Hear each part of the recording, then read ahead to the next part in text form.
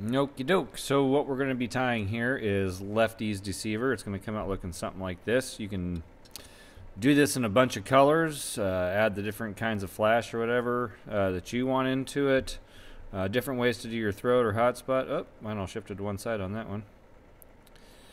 Anyhow, uh, yeah, maybe I just twisted the whole thing. There we go. So anyhow, that's what we're going to be doing. What I got in the vise is a Gamakatsu uh, B10S size 1 aught. Uh, you use a wide range of sizes here as far as streamers are concerned. I, would say uh, size 2 all the way up to, you know, if you really wanted to, like a 5 aught. so you can make them pretty big.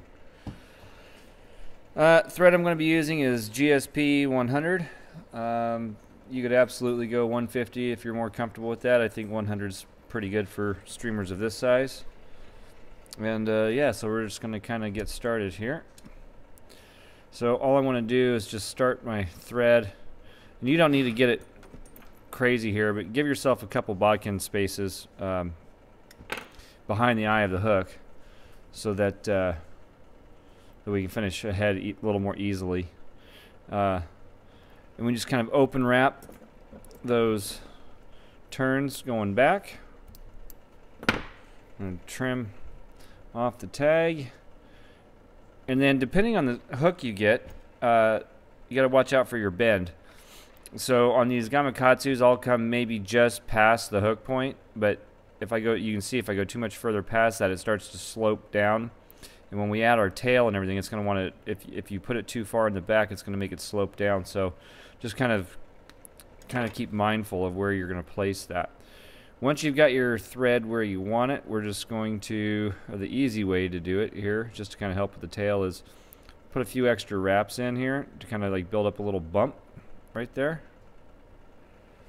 Okay, uh, and that's going to help us kind of seat the tail. Uh, next, you need some saddle hackle. Um, what I've got here is just some white saddle hackle. Uh, you can get it off a uh, actual saddle or you can get it strung, uh, whichever way. And I just kind of, I like this method that I found. Uh, but you just kind of clump them together. Uh, they don't need to be perfect or anything. Actually, the way I pinched that, they came out pretty nice. it wasn't by design. Um, so anyway, you just kind of get them all together, kind of like so. I do like my outside ones where the stem is facing in though. Let me switch that up. And you don't need to get them, uh, actually I think it's better if you don't get them perfectly the same length. So give them a little bit of a taper uh, towards the back so when they're in the water, they don't have to be crazy, so but when they're in the water, kind of I think it kind of helps the swimming action. So once you have that, uh, what we're looking to do here is at least twice the distance of the hook shank. So there's one, there's two, so I'm just over two. Uh, but I'm probably about a quarter inch over two two links of the hook shank and some people trim that stuff off first. I just go ahead and tie it tie it on and then I can kind of play with it a little bit on that bunch. What you want to do is just kind of make sure that it goes around the top part of that hook shank and I'll tighten that down a few times. And with the GSP you can go really you can really pull tight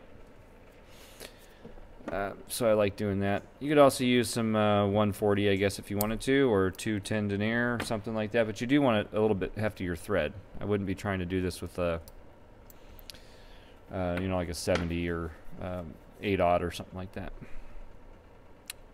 So once I have that, what I'm going to do is I'm just going to tie this down, or finish tying that little bundle in, and wrap back up. And there's my basic tail. And so if it starts to kind of get all wonky on you in the back, you don't really have to worry about that too much. Just because once it actually gets wet, uh, it's going to all want to come together and, um, and swim that way. So you don't have to worry about worry about that too much. It's not a super big deal. Uh, next, what I'm going to do is add some crystal flash. You can add different kinds of flashes here. Uh, I like doing the crystal flash. I'm going to use uh, this UV pearl and uh, silver. And so what I've got here is I've pulled four strands. These are full strands out of the package. They come out to whatever it is, 14 inches or something. 13, eh, about 14 inches. And so uh, I've put up, I've just kind of put them all together, and I want to, uh, and I've evened out the tips at the bottom, if you can see that there, are uh, pretty close. And so what I'll do is I'll find the middle, and I'll pinch the middle, like so. You can see that they're, what you want to do is basically just have them somewhat even at the bottom on both sides, and so that's pretty good. A little taper on each on each side is pretty good. And then what I'll do is I'll take it, and I'll get in front there. I'll take it, I'll put, uh, wrap my left hand around it, and I'll pinch down so it forms kind of a, a loop like that. And you can actually split these apart in your hand. Oh, I did that a little slower than I normally do. Just so you keep the bundles separate, because we're going to use uh, one on one, one bundle on one side and one bundle on the other. And now I can easily take one bundle and set it aside. And next what I want to do is I want to get my crystal flash lined up so that it is, uh, I know you can't quite see that in the camera, but it's going to be, I like to run mine just past where the, uh, uh, the feathers end.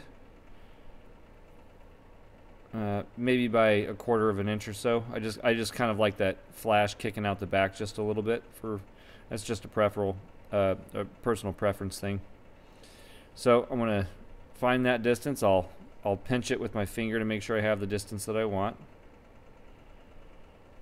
Okay, and I'm gonna start on the far side first. I'm gonna put one loose wrap over.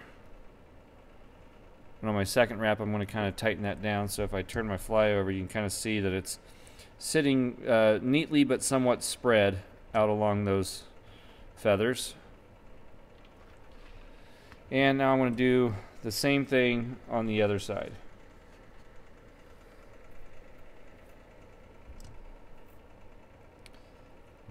Even that up a little bit. And one thing, one way you can do this is by actually just taking the material after you've marked it with your finger, sliding it underneath the thread. I'll do it again so you can see that. So I'll bring it on the back side. Oop. My piece of flash is all folding on me all funky. So I'll bring it up on the back side. So I've got the thread, I've got my distance, I can slide the thread back and forth. I'll slide it down to where my distance is or where I want it to be. I'll put that along the side of the hook shank. And I'll put a couple more wraps in. And I'm going to do just even a couple more just to make sure it's nice and tight. You can use, if you want it to, uh, your flash to be a little more distributed, you can take your thumb and kind of do one of these numbers if you want to. Uh, that's really up to you. Um, so there you go. Now, what did I do with it? Oh, next what I'm going to do is add some Flashabou to the back. So I've just got some, uh, you know, it's hard to see, but it's just uh, regular old UV flash of, uh, Flashabou. And I'm just going to pull some off. Well, I pulled way too much off there. uh, yeah, hold on. There we go. Uh, three or four strands is usually pretty good. And what I'm going to do here is I'm going to do the same thing. I'm just going to find the middle, just like I did before. Oh, just kind of like so. So I'm about there. And next I'm going to I'm going to kind of repeat that process, except I'm just going to leave it all in one piece. I'm not going to cut these. Now they're all folding into my thumb.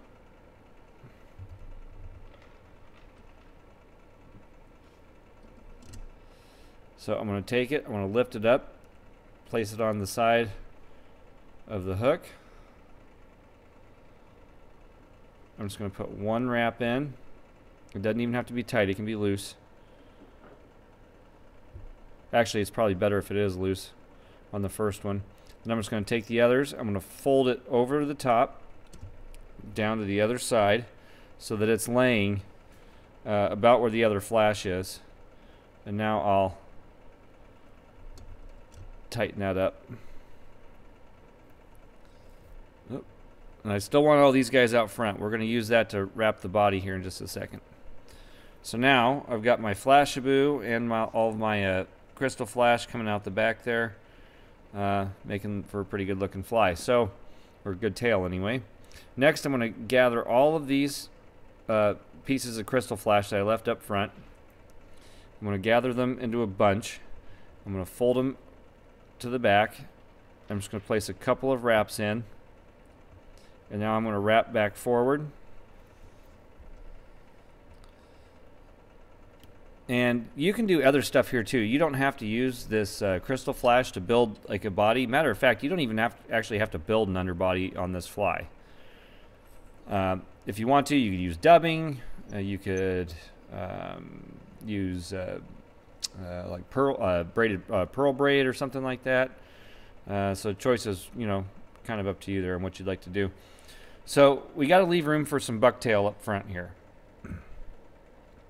uh, and a throat and a head. So I like to be, uh, you know, right about a quarter inch or a little over a quarter inch from the eye to the back.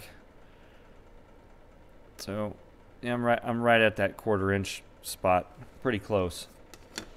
Uh, I didn't even take one off. So next, what I'm going to do is I'm going to take that clump of crystal flash. I'm going to start. I'm just going to gather it together, kind of put it into a flat, uh, or flatten it out and I'm just going to start wrapping forward.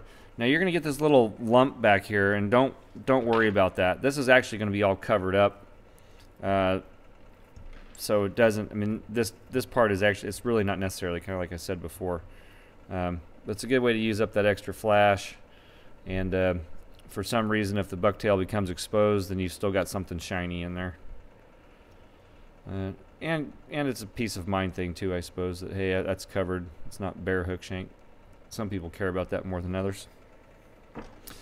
All right, now that we've done that, I can take it, just cut that off. Uh, and then what I like to do is I'm going to put a couple more wraps in here just to make sure it's all nice and tight. And I'm going to take my crazy glue with the brush applicator and just do a quick dab on there. Uh, and we're going to call that good. So what we need next is um, bucktail, and the first bucktail that I like to get is the white. Uh, if you're do if you're running multiple colors, um, I, this is a preference thing again, but I like my bucktail that's up here to match the buck uh, the uh, saddle hackle that's in the back. So uh, so that's what we're gonna do here, and we don't got it. We don't have to have a lot of saddle hackle, or I'm sorry, um, bucktail either.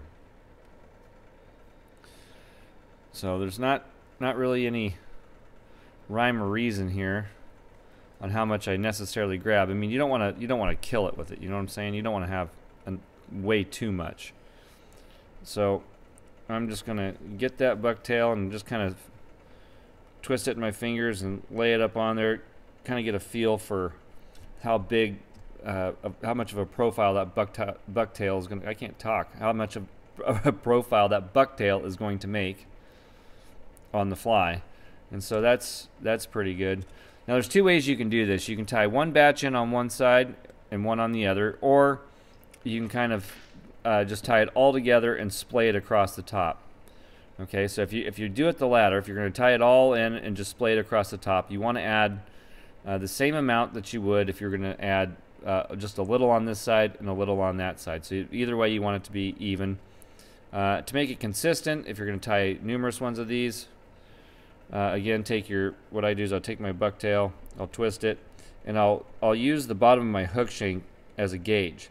So I can just kind of get an eyeball as to how, how much space is taken up between the bottom of the shank and the hook point. So I'm going to add just a little bit more there. And actually I'm going to come down here and get this clump. It's a little easier to get to. So I've got a new new little clump there And we don't want to go too crazy here either, because uh, we are going to add some more in just a minute. And I'm not liking any of those options. So there we go. This is what I want here. Okay. Uh, next, all we need to do is kind of clean this out a little bit. If you got some strays, um, that's fine. That's not a big deal unless they're really wonky. Maybe get rid of those. so other than that, what I'll do is with the bucktail here is I'll I'll pinch it kind of in the middle, and I'll run my I'll run my fingers through it, and you'll see this stuff just uh, start popping out. I'm going to take those and pull them. Uh, those are typically short pieces of buck hair or bucktail. And I'll kind of pluck away or strip it out. So what I'm going to do uh, is I'm going to lay it all together in one clump, and then splay it out a little bit. Uh, next, you got to figure out how long you want it. Um, I like to have mine going about uh, about three quarter or just over half of the way from the tie-in point back here. Okay, so that's that's kind of where I like mine. Then once you have that, you need we need to use our uh, well I'm right-handed, so I'm going to use my left thumb, left index to get right to where my thread is because this is my tie-in point here, and I can kind of trim that out. And I trim it at a little bit of an angle. I just feel that it helps tie it in a little easier. So I start with a few loose wraps and then work my way into some heftier wraps moving forward. Uh, the tighter you make the wraps in the back, the more uh, the more this is going to explode, like the, the bucktail is going to explode and come out. And so now I'm going to take my thumb and kind of work that bucktail right where I want it. And I'm just going to keep working this thing forward and tie it in. Now, I'm a little further uh, back than I probably normally would be. Usually I tie this in a little uh, closer up, but anyhow, so that's that. Whoop, so we get an underneath shot.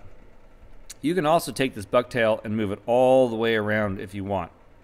Uh, that's up to you. You can actually have this thing going all the way around and completely encompassing the hook shank um, if you want to.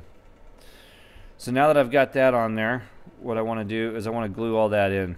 Uh, on these things I like glue. That bucktail likes to slip on me tying them, so I add a generous amount of glue. And we can kind of let that set up.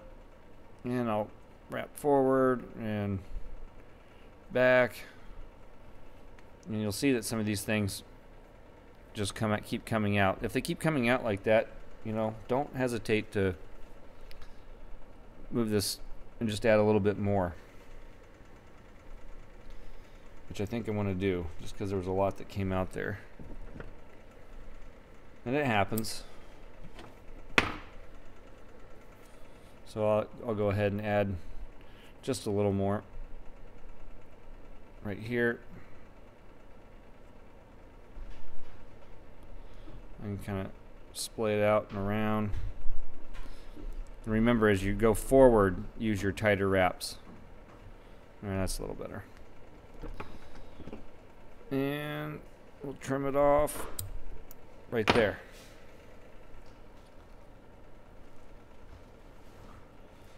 You really want to get this all tied tied in and tied down well.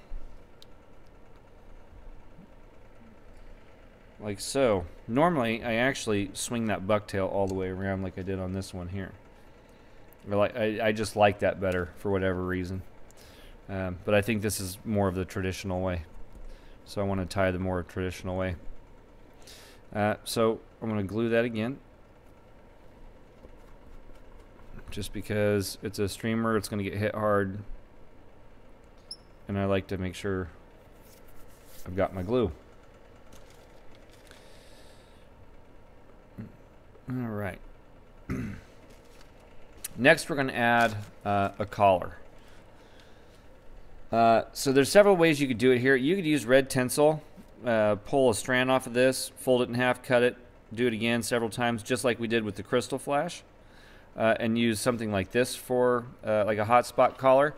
You could use uh, you could do the same thing with like some um, uni floss, or uh, you could use dubbing or uh, whatever you want. I guess you don't even really have to do it, although I think it really sets the fly off when you do. So we're gonna stick with that. So what I'm doing is uh, uh, Flashabou dubbing. I really like this stuff. This stuff is pretty neat. It's basically grandma's Chris, Christmas tinsel. You don't need a lot of this. Uh, or you know what you could do? You could also use just some like red or copper crystal flash, something like that if you wanted to.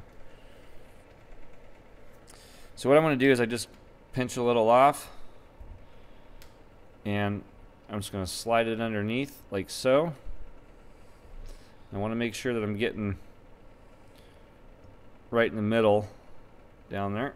Just put a couple wraps over and I'm, I'm advancing my thread forward just ever so slightly when I do that. Now I can just take this, pinch it, fold it back. As I get stuck with the hook point. And I'll come in and tie or uh, tie in or lock down, I should say, sorry, lock down that throat. And my throat goes underweight, uh, that underbelly. Uh, that's just the way I do it. You can tie them short, long, you know, whatever, whatever suits you. Not a whole lot, lot of right and wrong here, but that's why I said it's not really super important if this is uh, covered underneath there.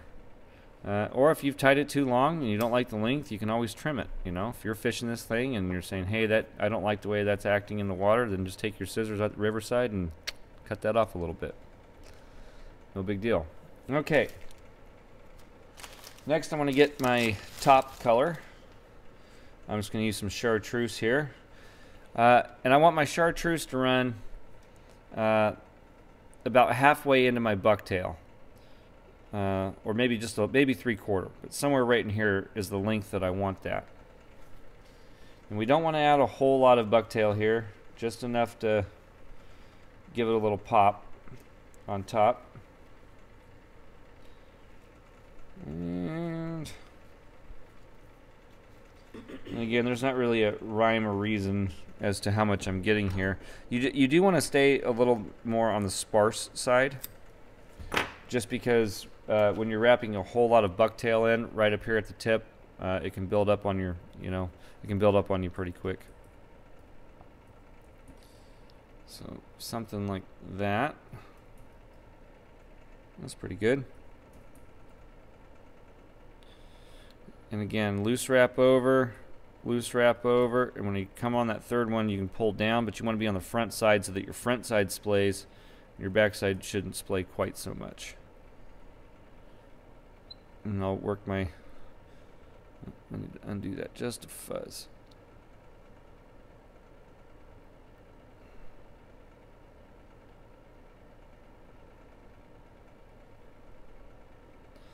There we go and you want to check it to make sure you've got some even distribution. So that way when you pull it tight on both sides does it come back and you know line up on both sides? And this one lines up pretty well maybe just to the camera side just a little bit. Uh, now we're going to come in and start to trim all this out Now you can trim this stuff beforehand too, which sometimes can be easier.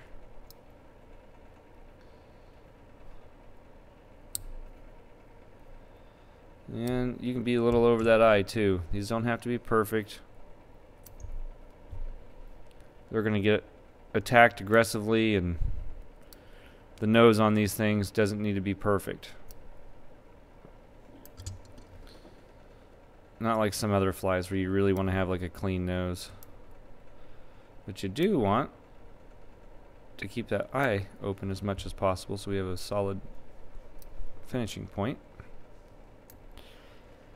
So, if I can get... I just can't get the angle on it. Not the way I'm wanting.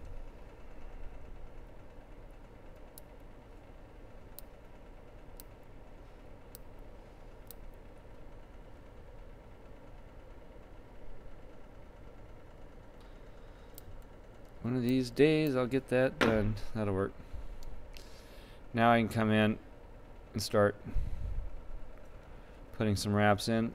And actually, what I'm going to do first, just because that is covering a little more, I'm going to take my uh, tweezers, and I'm just going to kind of shove it all back a little bit.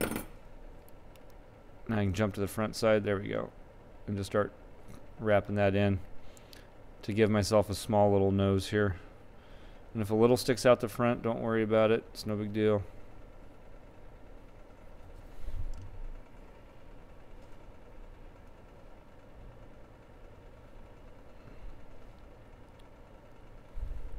There we go. Now I'm going to come in with my whip finish.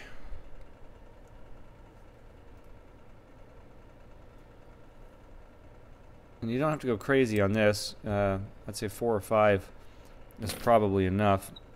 When you've got this GSP too, you can really, really pull. I mean, I'm really pulling on that. Get it nice and tight. Uh, and then with all these types of streamers and stuff, I always just, I really glue pretty heavy. What I'll also do is I'll glue right up onto my bucktail just a little bit. I know some people frown on that. Uh, I don't not not on this pattern anyway. Some patterns you're like you you really don't want to do that, but on this one it's really not such a big deal. And there you go. That's Lefty's Deceiver. that's well the way I tie it anyway. Uh, if you like the video, subscribe, share. Um, also, if you've not checked out our Facebook group, Fly Tying for Beginners, uh, feel free to do so. Answer the questions, and that gets you in the door. Um, that's it. Happy tying.